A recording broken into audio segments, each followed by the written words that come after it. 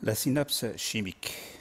La synapse est la zone de jonction entre deux types de cellules.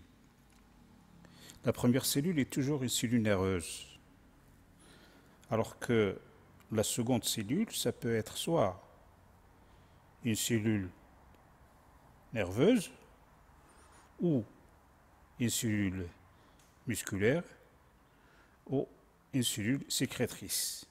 Donc, généralement, la première cellule peut être, est toujours une cellule nerveuse. Alors voilà la cellule nerveuse.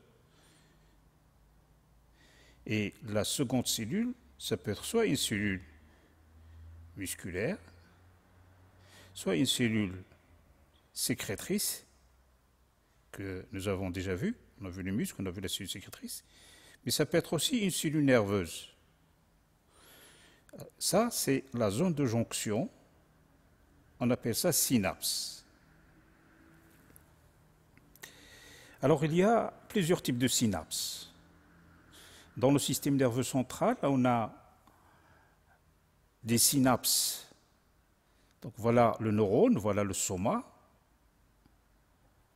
voilà l'axone, et voilà la synapse. Généralement, Ici, c'est la première cellule, ici, c'est la deuxième cellule. Alors, il se peut que un neurone, vous avez ici, sur ce coron, vous avez des dendrites, ici.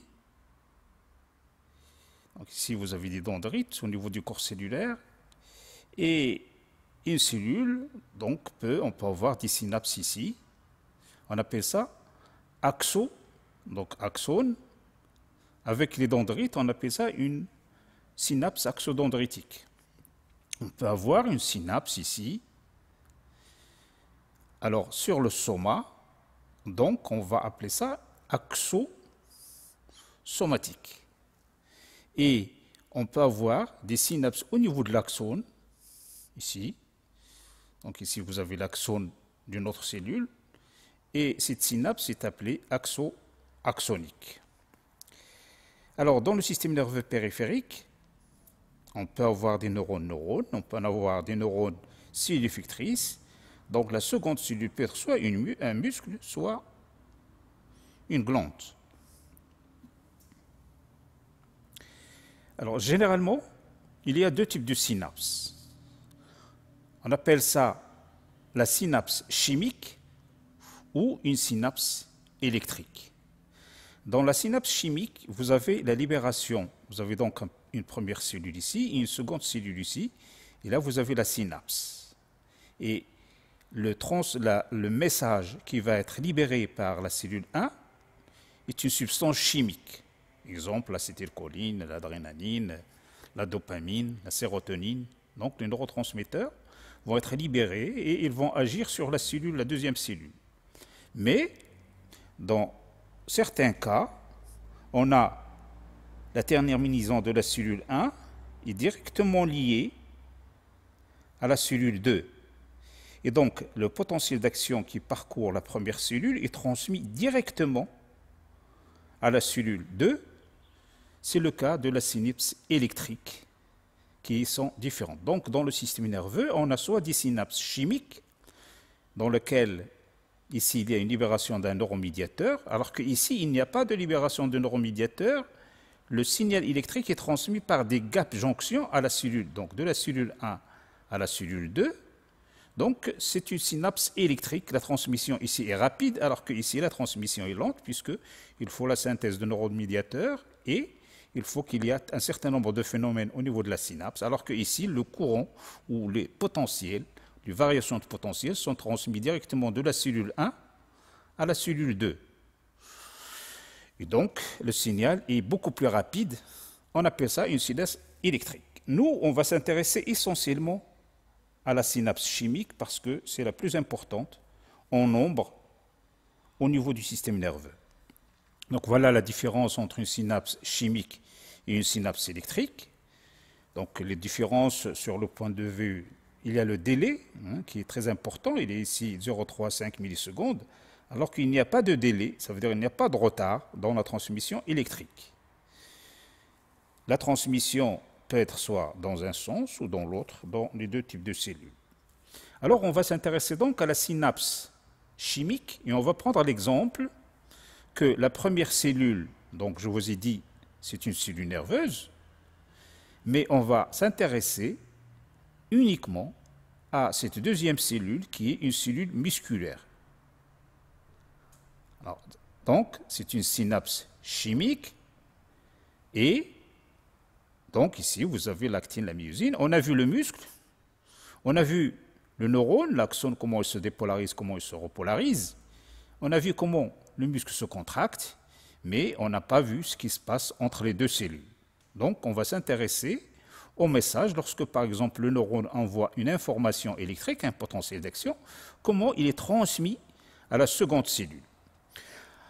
Alors, il est facile de faire des dissections du synapse et on peut donc mettre en évidence euh, ce qu'on appelle la plaque motrice. Alors qu'est-ce que c'est que la plaque motrice? La plaque motrice, c'est la zone de jonction entre une cellule nerveuse et une cellule musculaire. Toujours. Il faut considérer que la plaque motrice, la première cellule est une cellule nerveuse et la seconde cellule est une cellule musculaire. C'est ça la plaque motrice. Si vous avez une seconde cellule ici ou une cellule sécrétrice, ce n'est plus une plaque motrice. La plaque motrice, première cellule est une cellule nerveuse et la seconde cellule est une cellule musculaire. Voilà, par exemple, un exemple de la plaque motrice. Ici, vous avez l'axone, cellule nerveuse, et ici, vous avez la cellule musculaire, et vous voyez ici la synapse. C'est la zone de jonction entre l'axone et la cellule musculaire.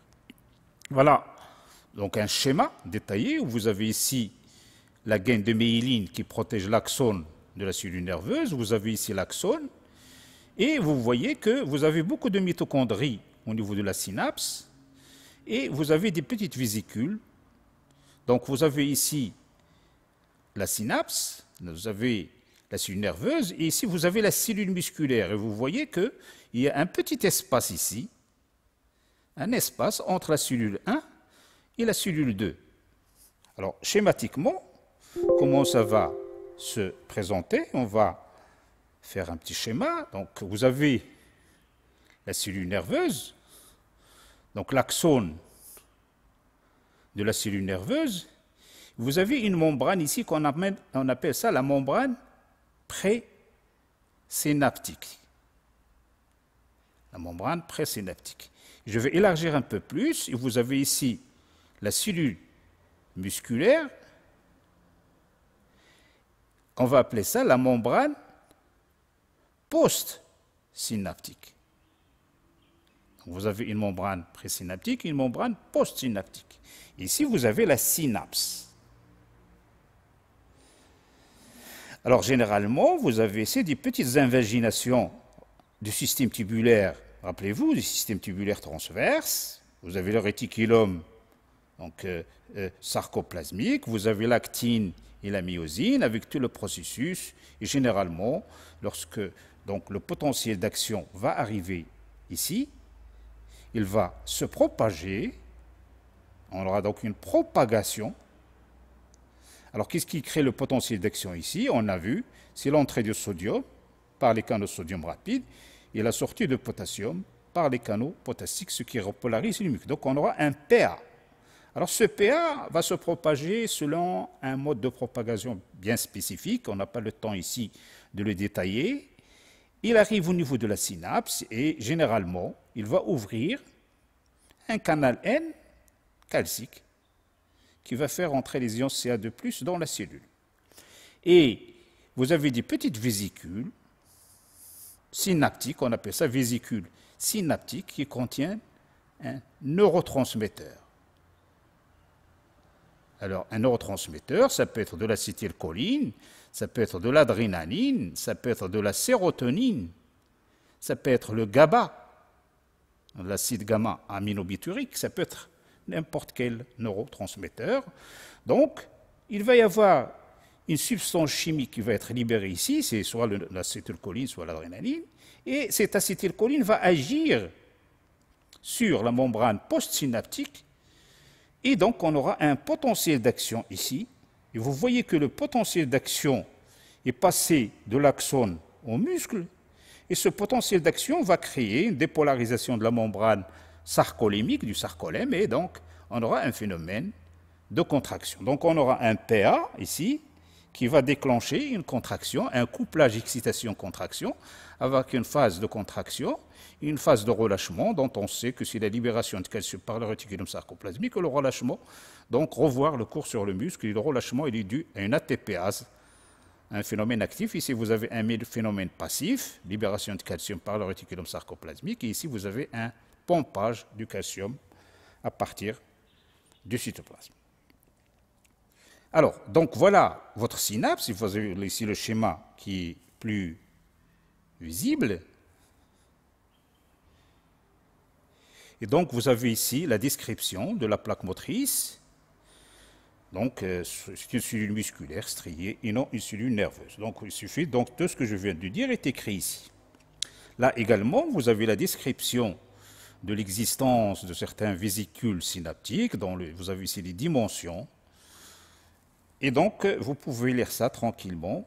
Tout ce que je viens de dire est écrit ici d'une façon plus correcte. Et ça, c'est la suite de discours concernant la description anatomique et histologique de la synapse.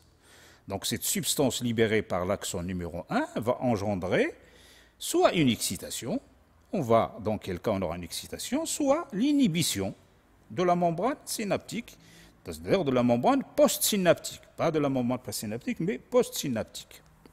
Alors comment on va mettre en évidence le phénomène électrique? Comment ça marche Au niveau, donc, on va prendre l'exemple du gastrocnémien. Le gastrocnémien, c'est un muscle au niveau de la jambe de la grenouille. Donc on isole le gastrocnémien et vous avez des axones. Donc des axones, ici on va prendre un axone et un axone et une cellule musculaire. On peut donc isoler facilement, euh, soit au niveau de la jambe, soit au niveau du diaphragme. Hein. On peut, soit les muscles du sartorieux, soit le diaphragme de rat avec le nerf phrénique. Donc, ça dépend. Donc, on peut obtenir soit l'un ou l'autre hein, pour étudier. Alors, comment on va faire l'étude? On va la faire de la façon suivante. Alors, on va la faire de la façon suivante. on va prendre donc un milieu physiologique, milieu physiologique généralement, donc qui contient les ions sodium, potassium, calcium, avec un pH bien déterminé. Et donc, comme on a vu, et on va mettre une cellule musculaire. Donc, une seule cellule musculaire dans ce milieu, il est oxygéné, donc il est maintenu en survie. Et ce muscle cette cellule musculaire est liée à une cellule nerveuse. Donc, une cellule nerveuse qui va faire synapse sur cette cellule musculaire. Donc, ça, on peut facilement. Alors, ça, c'est dans un milieu, donc il reste en survie. Ici, généralement, on va mettre de. On va protéger l'axone, on va le protéger avec de la vaseline pour qu'il ne se dessèche pas parce qu'il va se trouver en l'air donc la vaseline va protéger, va rester, donc cette action va rester humide. Et on va faire la chose suivante. On va mesurer le potentiel à côté de la synapse, pas très loin, juste à côté de la synapse, et on va mesurer le potentiel. Donc le potentiel V ou E en millivolts, et on va trouver un potentiel électrique d'environ, par exemple, la cellule musculaire, par exemple, moins 70 millivolts. Ce potentiel, il est dû, donc, rappelez-vous, il est dû à la sortie des ions potassium, petite entrée avec un gradient électrochimique beaucoup plus important de sodium, vous avez une pompe sodium-potassium qui fonctionne. Donc, on a vu ce que c'est que le potentiel de repos. Donc, cette électrode rouge va mesurer le potentiel de repos. Et ensuite, on va stimuler, on va stimuler quoi? On va stimuler l'axone, donc stimulation de l'axone. vous voyez ici, je ne stimule pas la cellule musculaire, je stimule l'axone. Et lorsque je stimule l'axone, je vais avoir un phénomène, donc une stimulation efficace, c'est-à-dire très forte, pour que ça déclenche un potentiel d'action. Et qu'est-ce que je vais mesurer ici au niveau de l'électrode? Au niveau de l'électrode, je vais mesurer un phénomène qui est lent et un phénomène rapide. Un phénomène rapide, vous voyez que ça c'est un potentiel d'action et ce phénomène peut aller jusqu'à plus 20 millivolts. Alors là c'est un peu différent. Hein. Généralement lorsqu'on stimule l'axone, on enregistre au niveau de l'axone. Mais ici, on va stimuler on va stimuler l'axone et on enregistre au niveau du muscle. Et au niveau du muscle, on va avoir un potentiel d'action avec deux phases. Une phase lente et une phase rapide. Une phase lente et une phase rapide. Alors la phase lente, on ne l'a pas vue lorsqu'on a stimulé l'axone et on a enregistré au niveau de l'axone. Donc, il y a quelque chose qui est un peu différent par rapport à la stimulation. Voilà donc euh, le schéma qui est exactement comme ce que je viens de vous décrire. Il suffit de le regarder et de regarder les différentes euh, images. Et voilà ce qu'on enregistre. On enregistre le phénomène qui est ici un phénomène qui est lent, une dépolarisation lente, et une dépolarisation rapide. Maintenant, je vais rajouter dans le milieu dans lequel il y a le muscle, dans le cellule musculaire, je vais rajouter ici une substance qu'on appelle le curare. Le curare, c'est une substance utilisée par les Indiens d'Amérique pour empoisonner les flèches. Donc ils jettent contre leurs ennemis. Et Généralement, ce curare, c'est une substance extraite à partir d'une plante végétale, utilisée par les, Indiens aux États-Unis, et il déclenche une paralysie de la respiration. Alors qu'est-ce que c'est que la respiration? La respiration, c'est des cellules nerveuses qui stimulent les cellules musculaires. Hein. Vous allez faire la respiration l'année prochaine, mais généralement, alors il va donc paralyser, il va provoquer une paralysie l'activité électrique, les potentiels d'action qui arrivent au niveau de l'axone ne vont pas arriver au muscle. Donc on va voir quel est le mécanisme du curare. Mais simplement, les Indiens, ils les utilisent pour arrêter la respiration de leur ennemi, donc ils se trouvent en état d'asphyxie et ils finissent par mourir, puisque le curare est une substance très toxique, c'est un poison. Le curare est un poison. Alors, lorsque je rajoute du curare à une concentration faible, la phase initiale est beaucoup plus lente. Vous voyez ici, voilà la durée de cette phase, et ici, voilà la durée de la, phase lente. Vous voyez que la phase ici n'a pas changé, la phase ici n'a pas changé, mais lorsque je rajoute un peu de curare, c'est-à-dire simplement une faible dose, je vais ralentir la première phase, puisque la phase de dépolarisation, il faut remettre une phase 1 qui est lente et une phase rapide. La phase rapide n'est pas touchée, simplement la phase lente est touchée, elle est beaucoup plus lente. Lorsque j'utilise une forte concentration du curare, vous voyez que le potentiel d'action disparaît. Et il me reste uniquement un phénomène électrique que je vais appeler, je vais appeler en présence du curare un potentiel de plaque motrice, le ppm. Ça, c'est un potentiel d'action. Et ça, c'est un ppm. Alors, le potentiel de plaque motrice, ici, est obtenu en présence du curare, à forte dose. Lorsque je mets une faible dose du curare, mon ppm, il est ici. Il a une plus, grande amplitude. Et ici, vous voyez que la première phase est beaucoup plus importante, mais il existe toujours ici, mais il est caché par le potentiel d'action. Donc, il est caché par le potentiel d'action ici, il est caché par le potentiel d'action ici, mais on voit que la phase est beaucoup plus.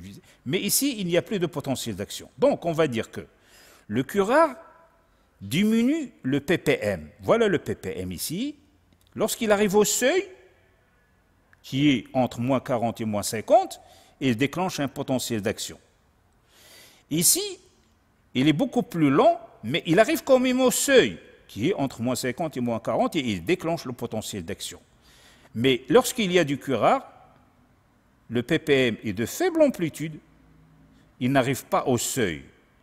Si le ppm n'arrive pas au seuil, on n'a pas de potentiel d'action.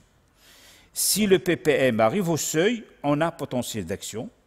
Ici, le ppm arrive aussi, on a potentiel d'action. On va donc dire que le ppm, le potentiel de plaque motrice, c'est un phénomène électrique, ce n'est pas un phénomène mécanique, c'est un phénomène électrique.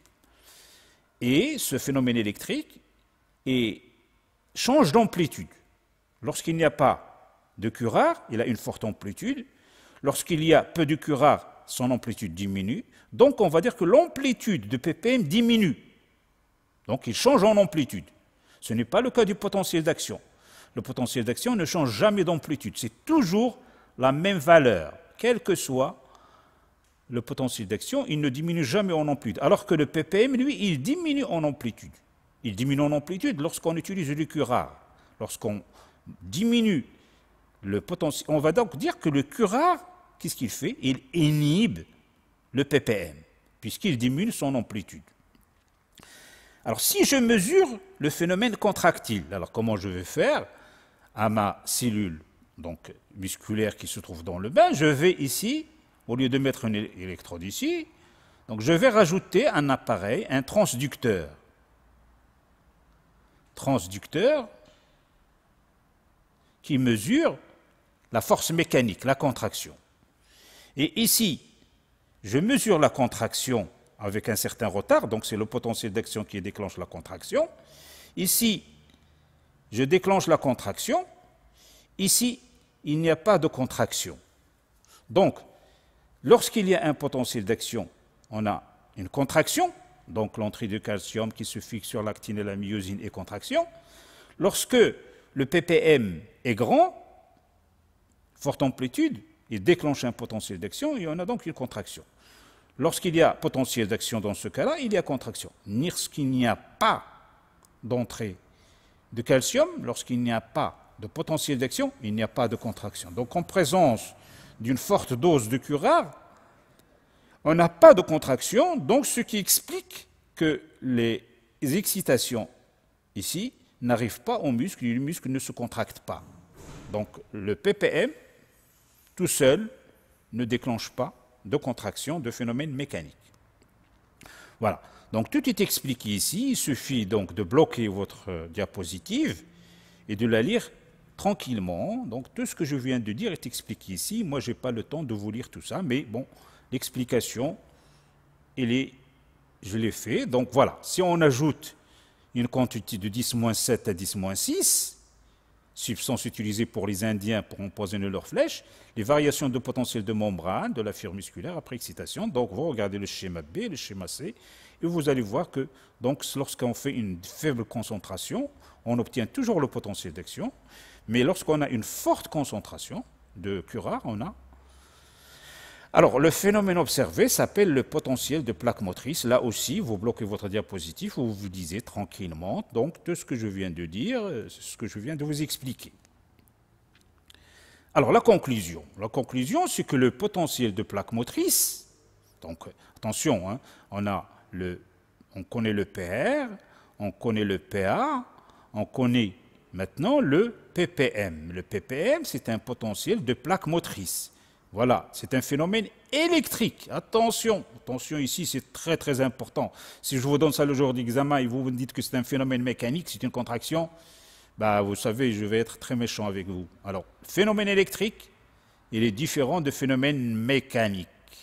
Phénomène mécanique, c'est une contraction, alors que le phénomène électrique, c'est un phénomène, c'est une variation de potentiel et vous voyez que ça va de moins 70 millivolts jusqu'à peu près, oh, disons jusqu'à moins 50 millivolts. Ça, c'est l'amplitude maximale d'un ppm. Si vous arrivez à un potentiel ici, vous aurez un PA, un potentiel d'action, et la première phase, vous allez la voir, mais c'est un phénomène. Donc, un potentiel d'action au niveau d'un axone, il est comme ça. Un potentiel d'action au niveau d'une synapse, il, est, il y a deux phases. Donc la première phase, c'est un ppm. Voilà le phénomène que nous venons de... Donc qu'est-ce qui s'est passé? Qu'est-ce qui s'est passé? Donc je passe en mode tableau, explication.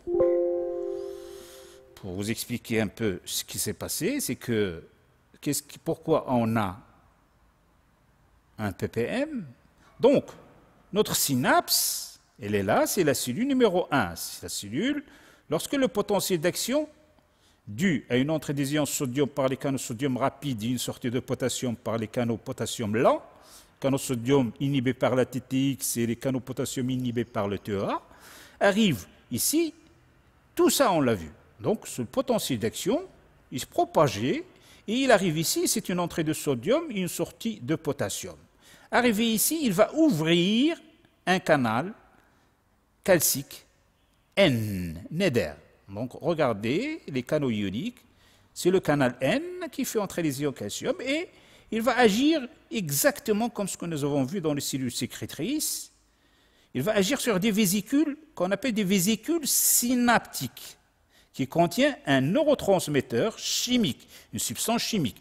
Par exemple, disons l'acétylcholine, mais ça peut être aussi de la dopamine, ça peut être de la sérotonine, ça peut être de l'adrénaline, ça peut être le GABA, l'acide gamma-aminobutyrique.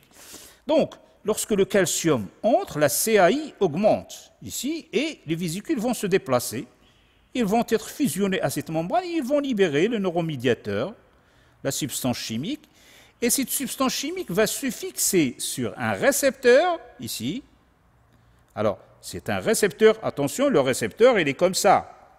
Ou bien il est formé de plusieurs unités, ou bien il est formé comme ça.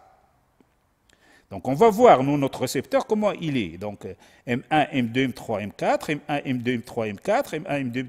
Donc voilà. Donc on va voir quel est le type de récepteur. Donc il va se fixer ici. Ce n'est pas un paquet comme ça, mais c'est une protéine ou c'est un ensemble de protéines qui s'ouvre. Donc si c'est un... On va voir le récepteur, comment il est, et il va agir. Il est associé à un canal Donc il y en a plusieurs, hein, mais bon, je prends un exemple pour schématiser, pour que vous compreniez. Et on va appeler ça, c'est un canal chimiodépendant. Il va faire entrer les ions Na+, et on aura la phase de montée qui va de moins 70 millivolts. Ici, si vous mettez une électrode, voilà ce que vous mesurez, une électrode à l'intérieur de la cellule, et vous allez mesurer une sortie d'ion potassium K+, et vous aurez un phénomène qui est comme ça, qui va de moins 70 à moins 50 millivolts. Donc c'est un phénomène électrique. S'il arrive au seuil, qui est de seuil de quoi? Le seuil des canaux sodium, voltage dépendant. S'il arrive ici, il va déclencher un PA. Et associé à une sortie de potassium, et donc une repolarisation, et donc on aura un potentiel d'action qui va se propager au niveau de la cellule musculaire, et ce potentiel d'action va ouvrir des canaux calcium, attention, cette fois-ci c'est L ou T, ça dépend, et vous aurez une contraction, puisque le calcium va se fixer sur l'actine myosique, vous aurez une contraction. Donc phénomène électrique ici, phénomène électrique jusque-là, et lorsque le calcium entre par les canaux L ou les T, ça déclenche donc une contraction selon le mécanisme du calcium-induce calcium release ou de dépolarisation induce calcium release. Donc, revoyez le cours concernant le muscle. Voilà donc ce qui s'est passé au niveau synaptique. Alors, vous avez tout ça ici. La seule chose qu'il faut rajouter, c'est que lorsque l'acétylcholine, ici on a pris l'exemple de l'acétylcholine, Bon, on a pris l'exemple de l'acétylcholine, puisque on s'est posé la question qu'il est le neuromédiateur qui est libéré au niveau synaptique et qui se fixe sur un récepteur qui va ouvrir un canal perméable au sodium et au potassium. Alors, qu'il est le neuromédiateur qui, le neuromédiateur qui ouvre un canal sodium-potassium. Évidemment, c'est la cétylcholine. Et il se fixe au niveau de la membrane postsynaptique. La membrane postsynaptique, c'est quoi? Quel est le type de récepteur qui se trouve au niveau de la membrane postsynaptique et qui va laisser passer les ions sodium et potassium, il va déclencher un ppm. Alors, quel est le neuromédiateur qui se fixe sur un récepteur qui laisse passer les ions sodium-potassium C'est l'acétylcholine. L'acétylcholine, il va se fixer sur quel type de récepteur? Attention, le récepteur nicotinique de l'acétylcholine. Voilà le récepteur nicotinique, M1, M2, M3, M4, M1, M2, M4. Et ici, vous avez un canal transit, donc la même chose ici, la même chose ici, la même chose ici, la même ici. Alors, l'acétylcholine. L'acétylcholine, généralement, au niveau de notre corps, soit il agit sur des récepteurs nicotiniques, comme ici, au niveau de la plaque motrice, soit il agit sur les récepteurs muscariniques. Alors, les récepteurs muscariniques sont des récepteurs protéine G. Qu'est-ce que ça veut dire récepteur protéine G? Ça veut dire sept domaines transmembranaires. Alors, révisez la partie concernant le cours. Les récepteurs à sept domaines transmembranaires, ils sont inhibés par l'atropine. C'est une substance qui inhibe uniquement les récepteurs muscariniques, mais jamais les récepteurs nicotiniques.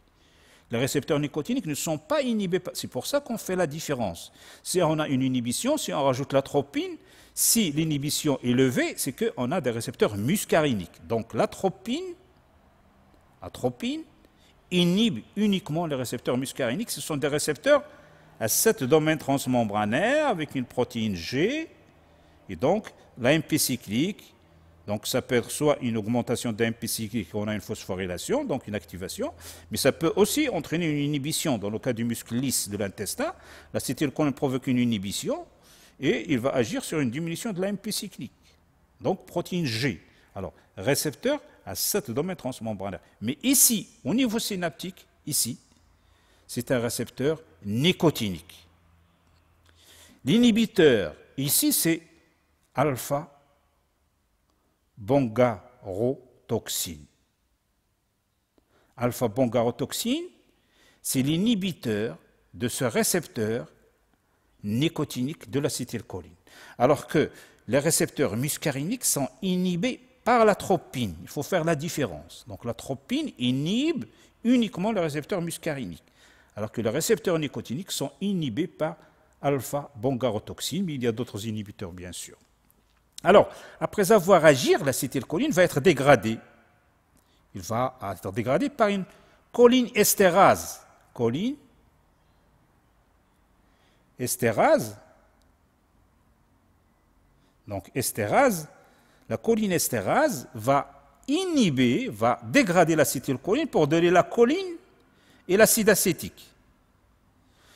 Et la choline et l'acide acétique vont être repris en grande quantité, ils vont être pompés par la synapse présynaptique, par la cellule présynaptique et synthèse à partir de la choline l'acide acétique. Mais une partie va aller dans le son, il va être éliminé, reprise par la presse. Donc soit on a une reprise, soit on a une élimination. Donc les produits de dégradation de l'acétylcholine par la cholinestérase. Alors la cholinestérase est un enzyme qui est très important parce que si l'acétylcholine n'est pas dégradé, ben, les canaux ici vont s'inactiver. L'acétylcholine va rester fixée très longtemps. Et lorsqu'on a une dépolarisation prolongée, c'est une inhibition. On ne peut pas déclencher un deuxième potentiel d'action si le potentiel est très élevé, parce que le canal est toujours ouvert. Alors il faut que le canal se ferme pour que le potentiel revienne au potentiel de repos. Si le canal est toujours ouvert, c'est-à-dire que si par exemple je mets un inhibiteur de la cholinestérase, si je mets un inhibiteur de la dégradation de l'acétylcholine, le canal va rester ouvert en permanence et on a une excitation accrue, c'est-à-dire que la cellule musculaire va s'exciter de façon accrue. On a donc des mouvements très forts du muscle. Pourquoi? Parce que l'acétylcholine est toujours là, il n'est pas dégradé. Donc, les, inhibiteurs de la cholinestérase bloquent la transmission synaptique puisqu'ils provoquent une dépolarisation prolongée la dépolarisation va être prolongée et on aura toujours, donc le potentiel va rester positif il faut que le potentiel revienne au potentiel de repos pour qu'une deuxième excitation soit efficace. Sinon, on a une inhibition. Bon, on aura d'autres exemples. Voilà. Donc, une substance. Je passe en mode tableau, comme ça je vais vous expliquer une substance qu'il fait, une inhibition. Alors, une inhibition, voilà votre cellule 1, va voilà une cellule musculaire. Alors, une inhibition, il y a plusieurs types d'inhibition de la synapse lorsque j'ai une inhibition synaptique. Alors, une inhibition peut bloquer le potentiel d'action ici. Donc, la substance peut arrêter la propagation d'un potentiel d'action ici. Par exemple, vous mettez la TTX, vous mettez un TEA, vous bloquez la propagation du potentiel d'action. Donc, il n'y aura pas de transmission synaptique. On peut bloquer l'entrée du calcium par le canal N. Bon, vous avez des inhibiteurs. Vous avez des inhibiteurs d'un coquillage, je vous ai dit soit c'est la toxine. Vous rajoutez ça à botulique. La toxine botulique, c'est le botulisme. Donc lorsque vous mangez de la nourriture avariée, il y a une bactérie qui va sécréter une toxine qui va bloquer les canaux calciques et donc va provoquer une paralysie des muscles respiratoires, ce qui entraîne la mort. La toxine botulique se développe sur une nourriture avariée que vous laissez sur votre paillasse pendant quelques jours sans la mettre au frigo, ou bien quand vous mangez une nourriture avariée, vous avez une bactérie qui se développe, on appelle ça la toxine botulique, et ça peut entraîner des paralysies des muscles respiratoires. Ces muscles-là ne vont plus se contracter. Et pourquoi? Parce que le canal calcique est fermé par la toxine botulique. Mais vous avez aussi des, des, toxines que nous avons vues d'un coquillage marin, donc euh, Geographicus, que nous avons vu en cours lorsqu'on étudiait les différents types de canaux calciques. On peut, par exemple, stopper le vidange ici. Une substance peut bloquer le vidange des vésicules. Une substance peut agir en empêchant la fixation, par exemple, de l'acétylcholine sur son récepteur. Et donc, on n'aura pas. Donc, une substance peut agir ici. Alors, on peut avoir une inhibition là, on peut avoir une inhibition là, on peut avoir une. Donc, quand je parle d'une inhibition synaptique, ce n'est pas toujours les récepteurs qui sont bloqués. Alors, une substance peut agir ici, il peut agir là, il peut agir là, il peut agir là. Donc, ça dépend où la, la substance va bloquer le mécanisme. Donc, vous voyez, une inhibition synaptique, c'est très complexe. On peut bloquer la propagation du potentiel, on peut bloquer le canal calcique, on peut bloquer le vidange du neurotransmetteur, on peut bloquer le récepteur.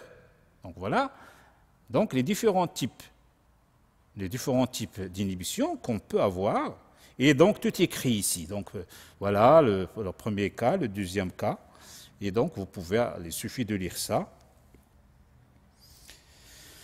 Vous avez donc plusieurs types d'inhibition, deuxième, troisième, quatrième, cinquième. Donc, vous bloquez votre diapositive, vous lisez, et, que le curare, voilà, le curare, il a fait quoi?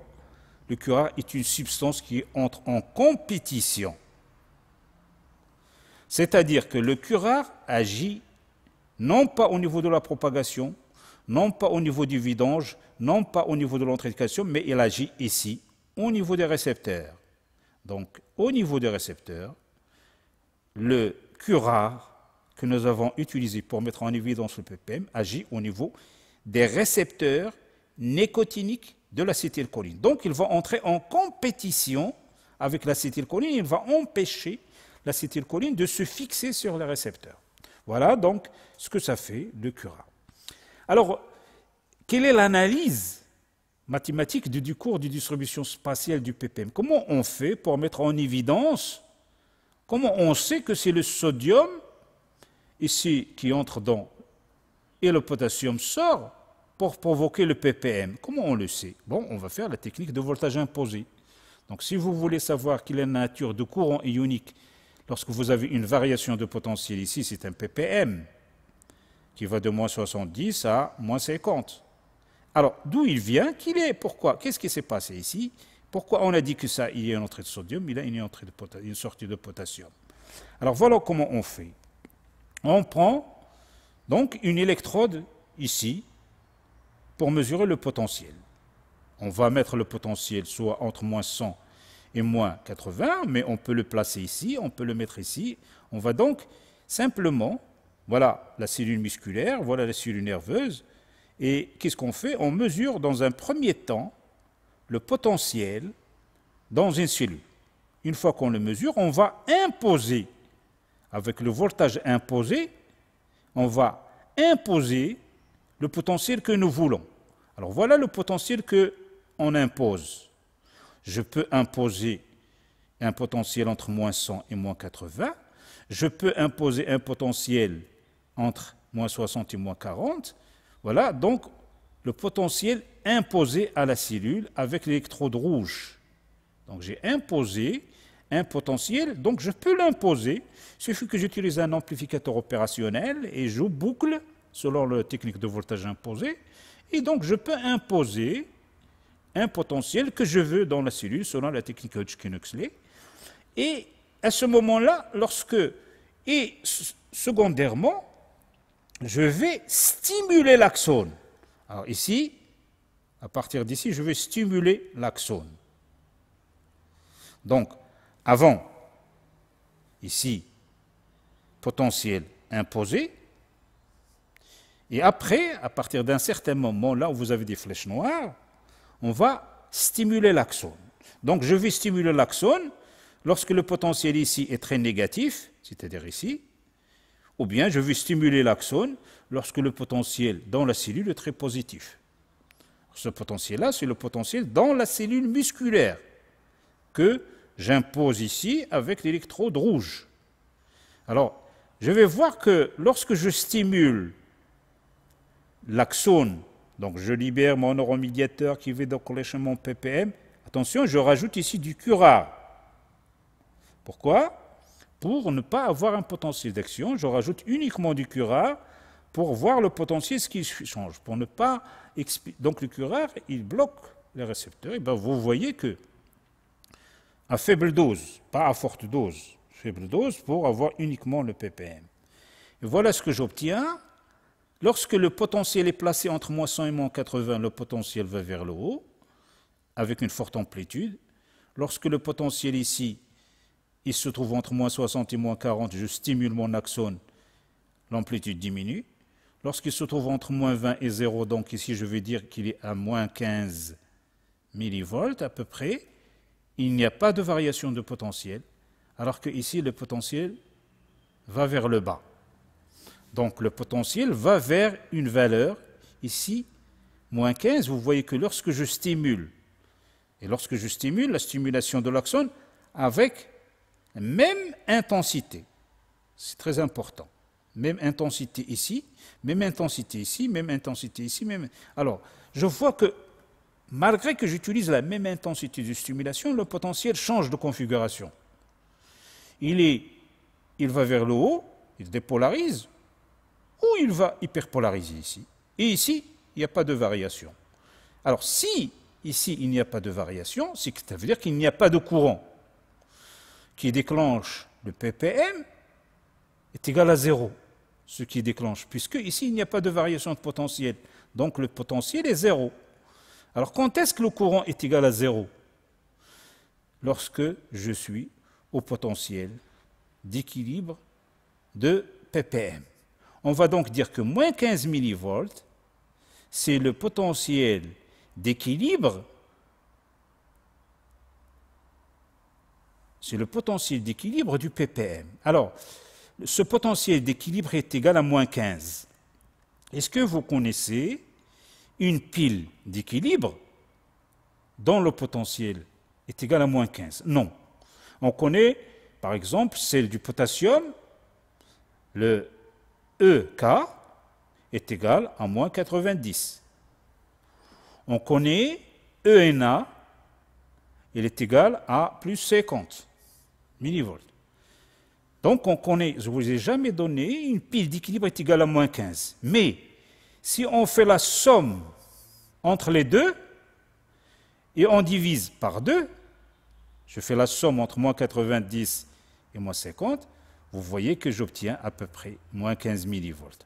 Donc, le potentiel d'équilibre ici qui est égal à moins 15 se trouve entre EK et ENA, ici 0. Donc le EPPM se trouve ici. Pourquoi? Parce qu'il est déclenché par le potassium et par le sodium.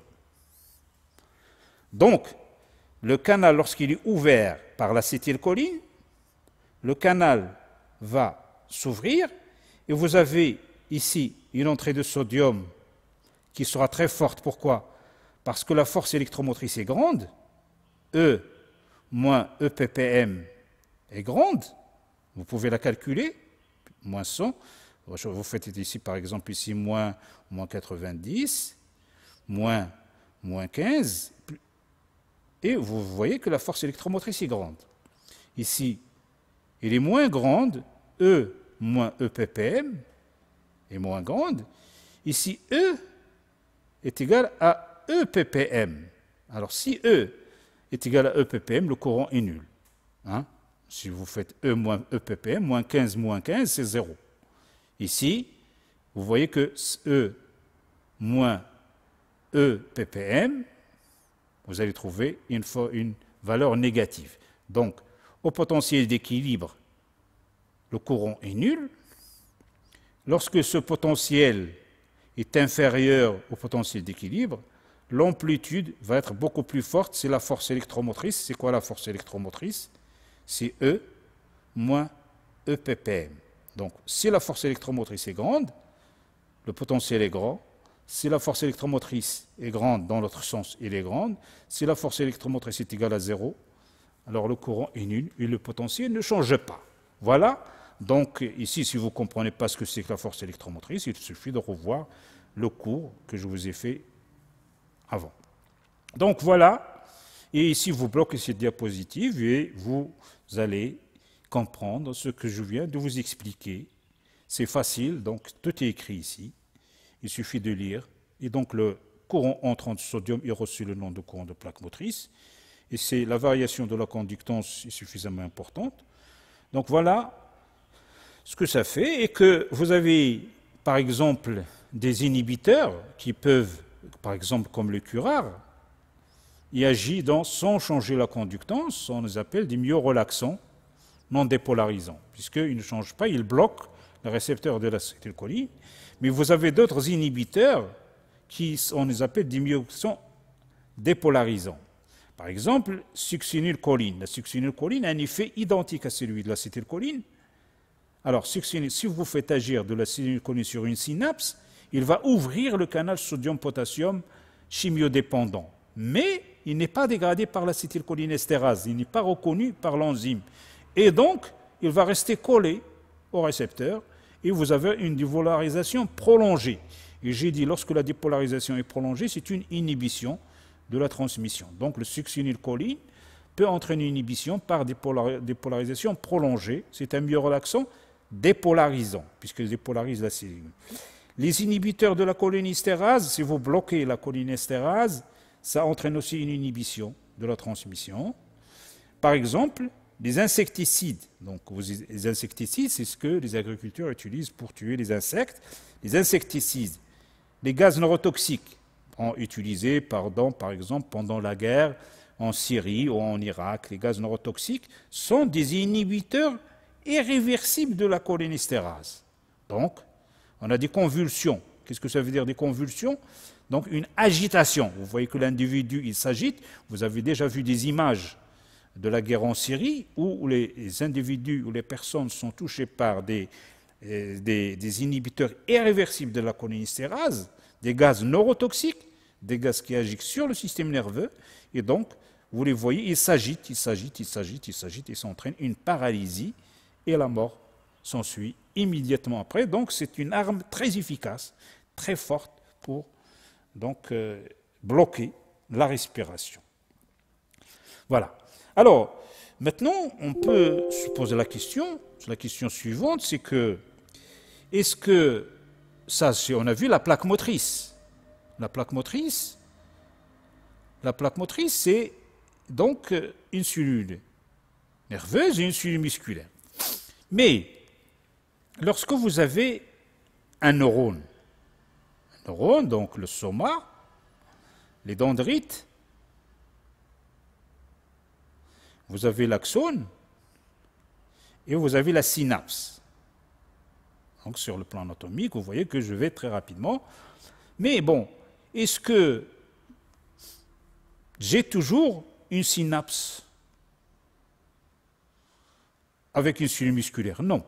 Dans le système nerveux, vous avez des synapses qui vont ici et ici, des synapses au niveau du corps cellulaire, des synapses là, vous pouvez avoir des centaines de synapses sur un seul neurone, on peut avoir des centaines de synapses.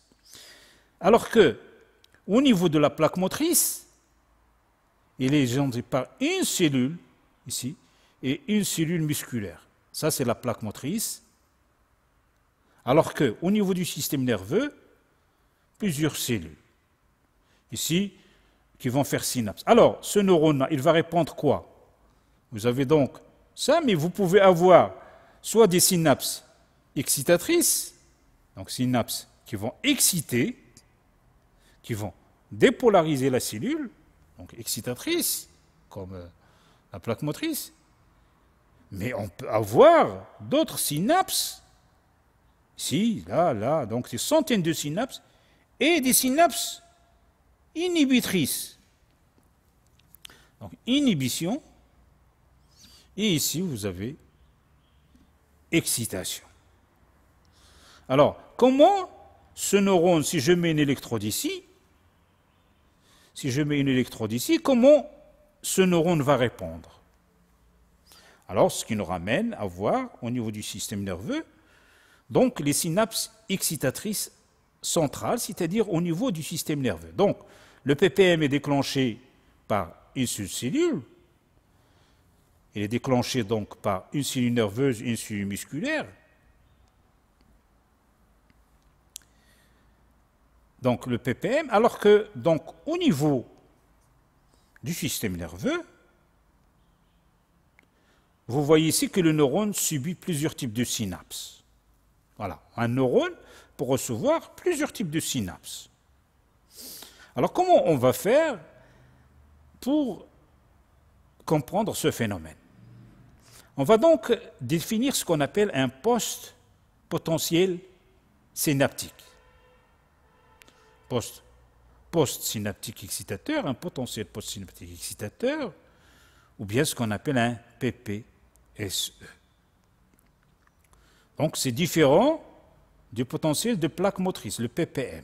ppm, c'est axone, muscle. Ici, comment je fais? Je fais la chose suivante pour définir. Je prends ici, par exemple, au niveau de la moelle épinière, vous avez des neurones, ce qu'on appelle des motoneurones. Et sur ce motoneurone, vous voyez ici qu'il y a plusieurs fibres nerveuses, plusieurs axones. Donc on est ici dans le système nerveux. On est dans le système nerveux. Donc vous avez des fibres afférentes qui viennent du muscle. Ce sont des cellules nerveuses qui proviennent, qui émanent. Afférente, ça veut dire que le message monte. Alors, efférente, c'est le contraire, c'est aller du système nerveux vers la périphérie, vers les muscles. Alors, ces fibres nerveuses proviennent du muscle et ils vont faire synapse au niveau d'un neurone, neurone qu'on appelle un métoneurone.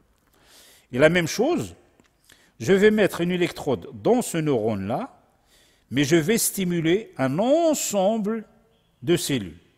Contrairement au potentiel de plaque motrice, je stimule une cellule et j'enregistre au niveau d'une deuxième cellule. Alors que ici, dans ce cas-là, vous avez une cellule nerveuse, mais je stimule plusieurs types de cellules. Donc c'est différent. Stimulation. Ici, je stimule, j'obtiens un ppm. Ici, je vais stimuler ici. Donc c'est stimule. Et je vais enregistrer ceci. Si je stimule avec une faible amplitude, j'ai ceci. Si j'augmente l'intensité de stimulation, j'ai cela. Si j'augmente encore l'intensité de stimulation, j'ai ceci. Voilà ce que j'obtiens dans le neurone, dans le motoneurone. Alors, Qu'est-ce que je veux obtenir? Je veux obtenir ce qu'on appelle un potentiel postsynaptique excitateur. Donc si la dépolarisation est faible, j'obtiens ceci. C'est quoi ça? Ce n'est pas un ppm, puisque je l'obtiens dans un motoneurone. Je vais appeler ça un PPSE. Potentiel? Postsynaptique, puisque je l'enregistre au niveau postsynaptique, voilà les cellules nerveuses, donc c'est au niveau postsynaptique, et il est excitateur. Pourquoi il est excitateur? Parce qu'il dépolarise la cellule. Dépolarise, dépolarise. Si ce PPSE arrive au seuil, vous voyez l'amplitude, il est là, mais il est caché ici. S'il arrive au seuil, il déclenche un potentiel d'action. Si ce PPSE n'est pas suffisamment grand, il ne déclenche pas de potentiel d'action. Donc, lorsque je stimule plusieurs cellules nerveuses, j'obtiens un PPSE de faible amplitude, PPSE, potentiel postsynaptique excitateur. Il faut que je stimule avec une forte intensité pour déclencher un potentiel d'action. Donc vous voyez ici que lorsque je stimule un ensemble de cellules nerveuses, voilà, sur une seule cellule nerveuse, donc j'enregistre ici, si je stimule avec une faible intensité, j'ai ceci, si je stimule avec une forte intensité, j'ai cela, et donc le potentiel postsynaptique excitateur déclenche un potentiel d'action s'il est suffisant. Alors, on va dire que le ppm de la jonction neuromusculaire est analogue au ppm puisque vous voyez, il est dépolarisant. Vous savez, il avait la même force que le ppm, mais ce n'est pas le ppm. Ici, la différence, c'est que l'excitation d'une synapse donne le ppm, mais le ppse, c'est la stimulation de plusieurs synapses. C'est le résultat, ici, de plusieurs synapses. Voilà la différence. Alors, quel est le mécanisme ionique du PPSE ben, de la même façon que nous avons vu précédemment, on va faire la technique de voltage imposé. Si on fait cette technique, on va déterminer un potentiel d'équilibre EPPSE de la même façon que tout à l'heure. On va obtenir moins 15 millivolts. Ça signifie que il se trouve le EPPSE, moins 15, se trouve entre le ENA et EK, et donc, le PPSE est déclenché par une augmentation de la perméabilité au sodium et au potassium par des canaux, donc chimiodépendants, donc essentiellement une substance excitatrice. Alors, cette substance excitatrice, ça peut être l'acétylcholine, ça peut être beaucoup de substances. Il y a d'autres substances donc, qui peuvent créer une excitation.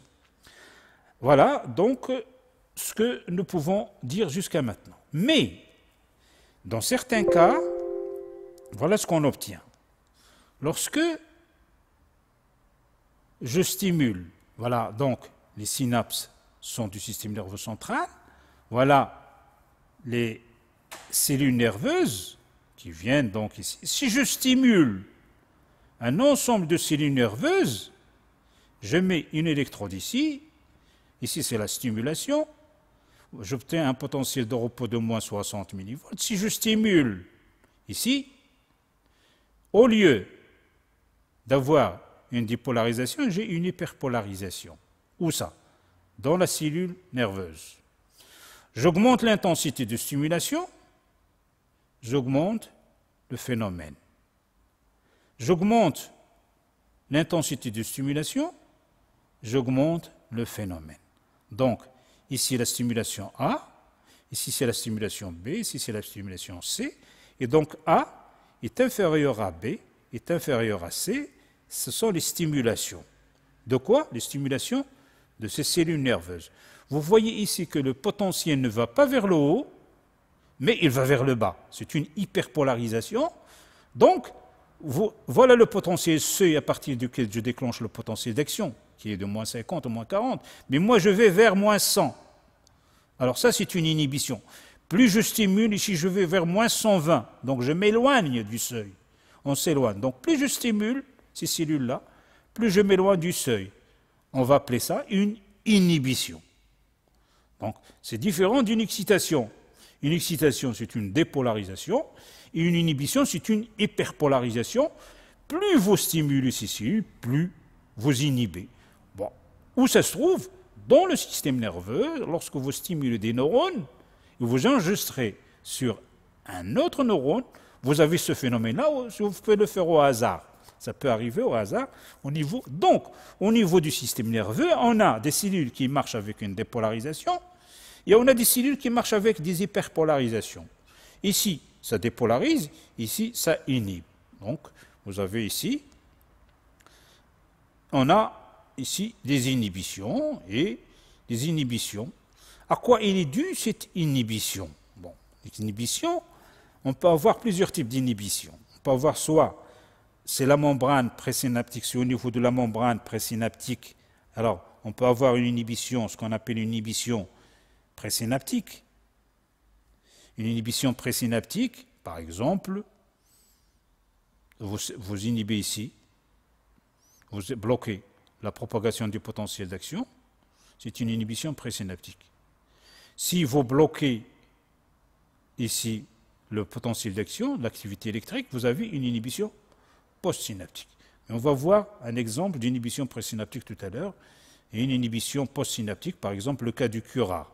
Curare, il se fixe au niveau des récepteurs de l'acétylcholine et provoque une inhibition. Mais on peut avoir aussi une inhibition présynaptique. Donc, l'ici centrale, on a des inhibitions. Voilà donc l'exemple d'un potentiel postsynaptique d'inhibition. On va l'appeler le PPSI. Alors qu'est-ce que ça veut dire un PPSI C'est un potentiel enregistré au niveau d'un neurone avec stimulation. Vous voyez que la stimulation A, inférieure à B, inférieure à C, inférieure à D, plus vous se stimule, et plus le potentiel s'éloigne du potentiel seuil à partir duquel j'ai un potentiel d'action. Donc, ça provoque une hyperpolarisation. Alors, quel est l'ion qui, lorsque je me trouve à moins 70 millivolts, provoque une hyperpolarisation? Donc, dans ce cas-là aussi, pour déterminer quel est l'ion qui est responsable de cette inhibition, on va faire la technique de voltage imposé et on va étudier cette hyperpolarisation en voltage imposé. Alors, de la même façon, il y a une électrode ici qui mesure le potentiel, qui injecte le courant, et une qui mesure le potentiel. le potentiel est mis à différentes valeurs. Je le place vers différentes valeurs, c'est à quoi à quoi? Donc je vais imposer le potentiel que je veux. Je vais l'imposer avec cette électrode. Non, celle-là, c'est mesure le potentiel. Je vais, la source de courant, c'est le courant qui me permet d'imposer le potentiel. Avec le voltage imposé, j'utilise une source de courant, donc revoir la technique de voltage imposé. Je vais imposer un potentiel avec cette électrode et j'enregistre le potentiel dans la cellule. Et je vais stimuler les fibres, je vais stimuler les fibres donc, qui viennent ici. Je vais stimuler de la même façon, stimulation de fibres. Et je vais stimuler donc ces fibres lorsque le potentiel est négatif ou lorsque le potentiel est positif. Et je vais trouver de la même façon que tout à l'heure un EPPSI, un EPPSI égal à moins 80 millivolts. Voilà. Si le potentiel est négatif, j'ai une dépolarisation. Si le potentiel est positif, j'ai une hyperpolarisation. Lorsque le E est égal à moins 80, lorsque E est égal à moins 80, j'obtiens pas de variation de potentiel, ça veut dire qu'il n'y a pas de courant. Le courant du PPSI est égal à 0. Donc il n'y a, pas de, il n'y a pas de courant, il est nul, donc il n'y a pas de variation de potentiel. On va dire que quelle est la force électromotrice qui est égale à moins 80 Alors, on ne la connaît pas, mais je sais que ECL et EK ont chacune ici moins 90, ici à peu près ECL, donc EK moins 90, ECL est à peu près égal à moins 70, moins 60, moins 70, donc EK, ECL, et on va dire que ici, c'est E.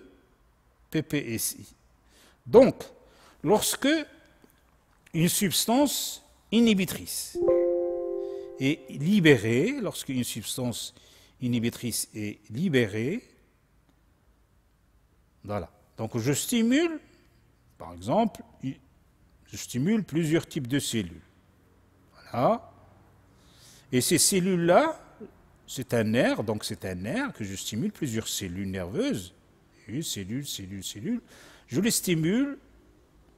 Ils vont me libérer une substance X qui va agir sur une autre cellule nerveuse, notre cellule nerveuse, et lorsque j'ai mis une électrode ici, je mesure une hyperpolarisation.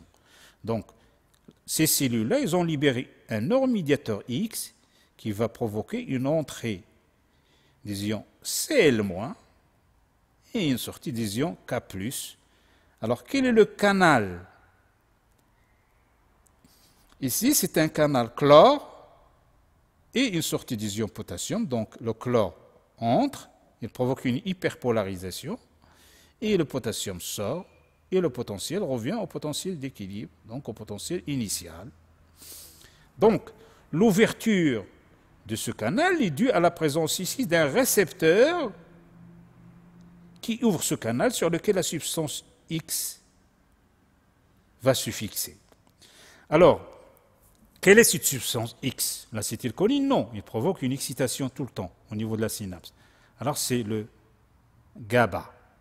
Le GABA, c'est un neuromédiateur acide gamma amino butyrique. Le GABA provoque une hyperpolarisation et il provoque un PPSI. Donc, le PPSI est déclenché par l'ouverture du canaux chlore potassium avec fixation du GABA, donc fixation de GABA au niveau des récepteurs GABAergiques, donc au niveau de la synapse. De la synapse. Et le EPPSI ici, E, pardon. Alors, EPPSI, ici, EPPSI, est égal à moins 80 millivolts donc il se trouve entre ECL et EK. Voilà. Si la force électromotrice E moins ECL ici, alors ça dépend, vous pouvez la calculer. Voilà la valeur de E, voilà la valeur de EPP ici. Donc vous mesurez E, E moins ES, donc le potentiel de la force électromotrice, c'est E moins EPPSI. Et on peut donc connaître la valeur avec laquelle la force ionique, avec le potentiel est fort. Donc plus je m'approche, plus E s'approche de EPPSI, et plus l'amplitude diminue soit dans un sens, et s'il est négative, soit il est positive dans l'autre sens. Donc la force électromotrice, c'est E moins EPPSI. EPPSI, ici, c'est moins 80 millivolts. Voilà EPPSI c'est moins 80 millivolts, et E, il change. Donc vous pouvez prendre soit ce E ici, ou vous prenez prendre ce E, et vous pouvez calculer la force électromotrice. Voilà.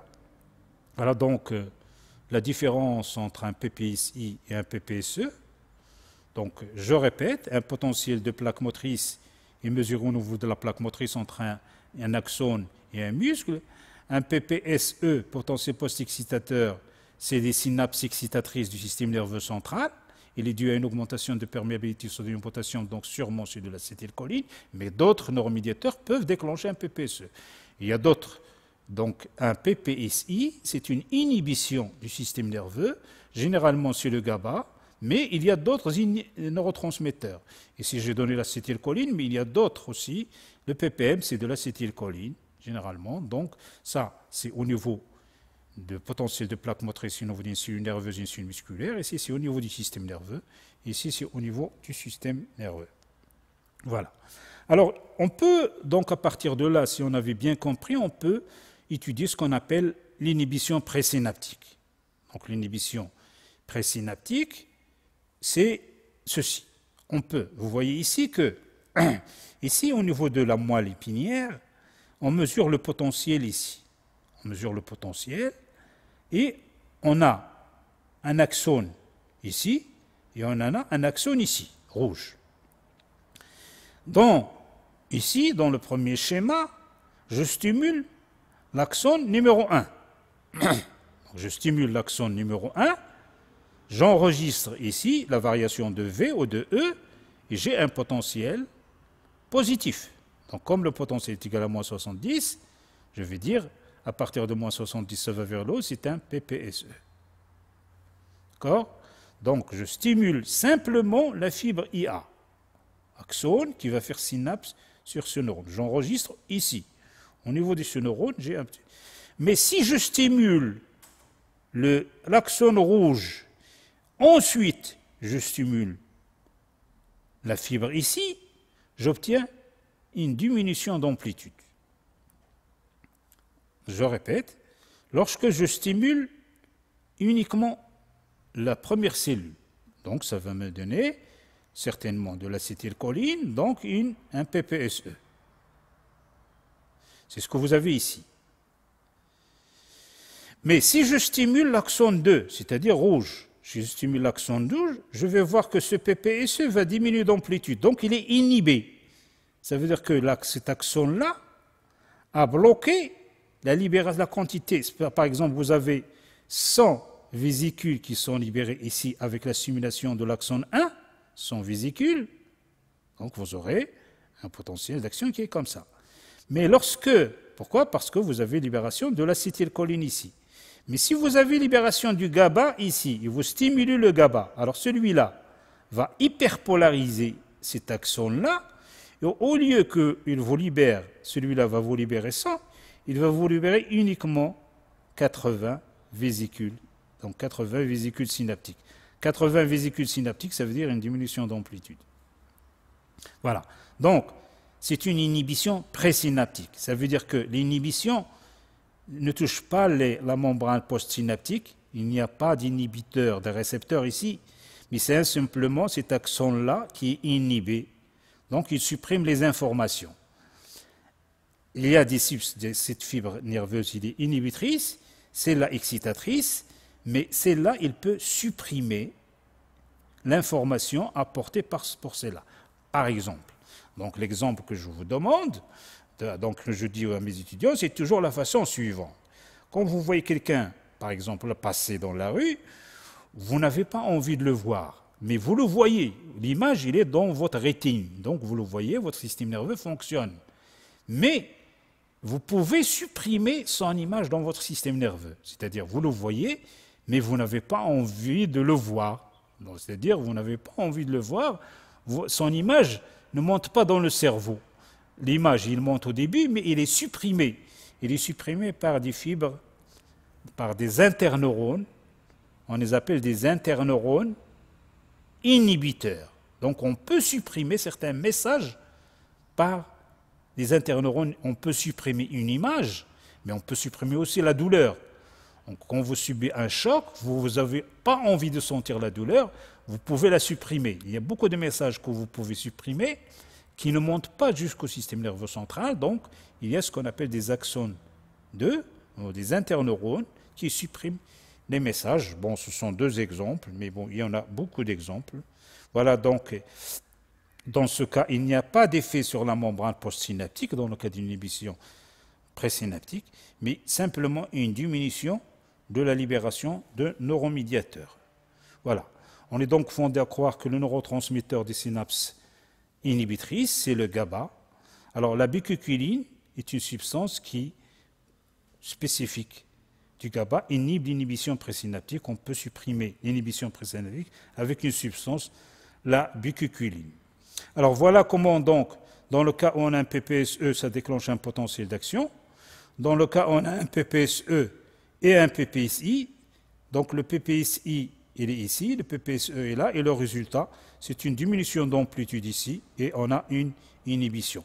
Voilà comment un PPSE fonctionne, voilà comment un PPSE fonctionne. Ici, vous avez un potentiel d'action, ici, il n'y a pas de potentiel d'action parce qu'il y a un, un, interneurone inhibiteur qui diminue le niveau d'excitabilité, et donc on a une inhibition. Donc il suffit de lire ce que vous avez ici.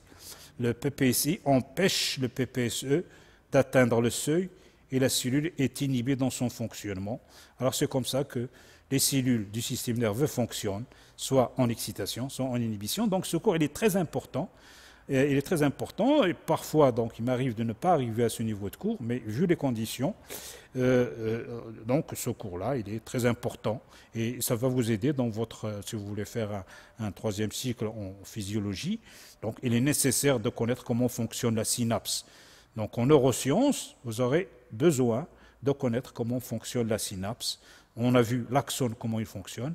On a vu comment il fonctionne le muscle, c'est-à-dire la cellule on a vu, une cellule sécrétrice, c'est un exemple que j'ai pris la cellule bêta.